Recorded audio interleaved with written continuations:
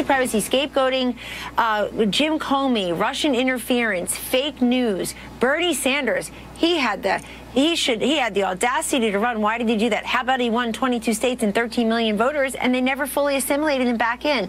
And then anytime I okay. respond, anytime I defend myself against these specious allegations that are now leading to death threats, so I really resent it. Anytime I try to respond, I'm seen as ungracious. Why are we sore winners? I'm not a sore winner. I'm a winner. Okay. My guy's a winner. He's an ex-president of the United States. This has to stop, Chris. This incendiary rhetoric of people who just can't admit that they lost. It has to stop because it's it's costing a lot of it's costing a lot of angst. That's senior Trump advisor Kellyanne Conway firing back at Team Clinton after Clinton's former communications director, Jennifer Palmieri, again accused Donald Trump's camp of giving the alt right movement a platform in the election. Conway says the president elect has been, I'm sorry, has denounced the group, and she says the Clinton camp should recognize the real reason they lost. Voters just didn't connect with their candidate.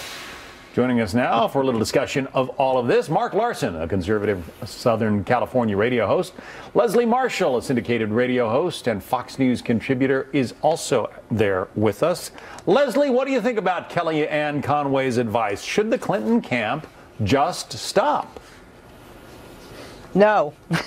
well, if they want to, yes. If they want to, no. Last time I checked, we had a First Amendment right uh, to, to write in the Washington Post or anywhere else an op-ed and to give the opinion. I do agree that's not the reason that the uh, that Hillary Clinton lost. Uh, but honestly, I don't think Kellyanne should pay mind to the insults. I get plenty of them online every day. Well, she, uh, she says ignore them and they'll go away and, and, and move forward and focus on what needs to be done for this country. She says she's gotten death threats because of all this.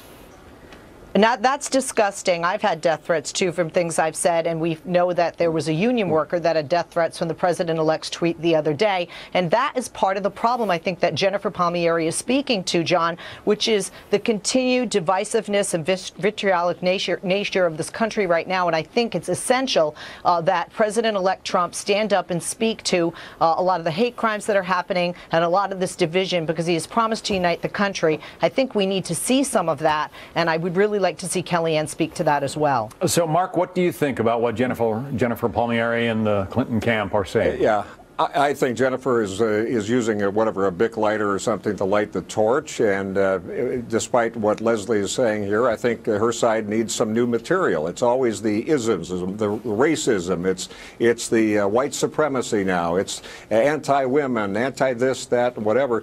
Uh, words do mean things, and they do have results and consequences. And I'm very concerned with with as this heats up. Sure, both sides should take a look and make sure that they're not fanning flames here too. But the Democrats, the left in particular, some of the mainstream media have not learned any lesson from the election. They've not figured out how, when, when you get into the, the, even though it's free speech, rhetoric that leads to violence in the streets, for example, that's a big concern coming up with the inauguration because activist groups on the left are looking for ways to stir things up too. Um, it's uh, it's, it's a time to be cautious, but don't blame it all, as they always do, on whoever the conservative or, or non Democrat side happens to be. Leslie, she seems to be blaming Jennifer Palmieri. Uh, seems to be blaming white supremacists for giving this election to Donald Trump. There aren't enough white supremacists in Michigan and Pennsylvania and Wisconsin to make him the president of the United States, are there?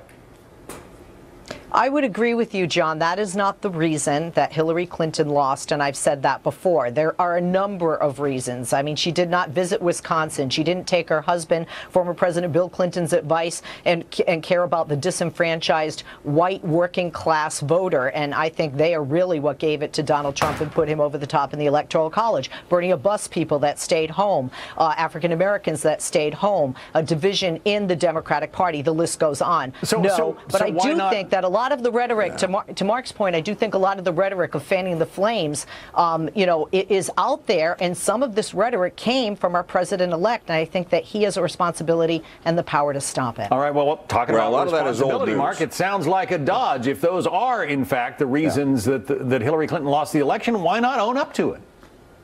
Well, I don't think she's wired that way. Maybe she needs to go back to Chelsea's apartment, which is the finest medical facility in America, and I guess, and just get rebooted because this this idea it was hers. It happened in 2008. She thought she was entitled. The entitlement class is having heads explode. I guess that's incendiary rhetoric. Sorry. The entitlement class is having a hard time figuring this out that they lost because the issues didn't match a number of Americans who felt disenfranchised. And uh, I think Bernie Sanders probably understands that better than a lot of them because he was disenfranchised by the same Clinton machine. Yeah, it, it, as you point out, uh, Leslie, uh, you know, Bernie Sanders, uh, well, I, I, guess it was Kellyanne, uh, Kellyanne Conway who, who said that uh, Bernie Sanders supporters were never fully embraced by the Clinton campaign. And then we, we could get into that basket of deplorables uh, remark. Ah, yes. if, if you say that half of the Donald Trump supporters, which turns out to be a quarter of those who voted in the election, are deplorable, that's not a necessarily a way to, you know, win friends and influence people.